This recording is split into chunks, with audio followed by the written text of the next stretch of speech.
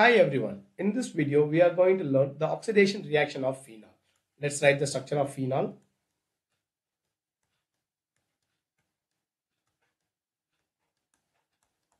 Now we are going to oxidize it in presence of two oxygen molecule. Okay, uh, potassium dichromate. It should be acidified with sulfuric acid. Okay, what happens? One oxygen and here hydrogen will be here. This hydrogen this hydrogen and this oxygen will leave as water molecule h2o the remaining oxygen will be attached to this carbon in the benzene ring. Here double bond double bond o double bond o. This compound is called as 1 comma 4 benzoquinone.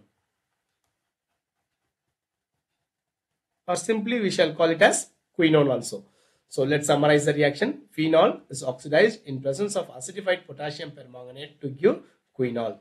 Thank you.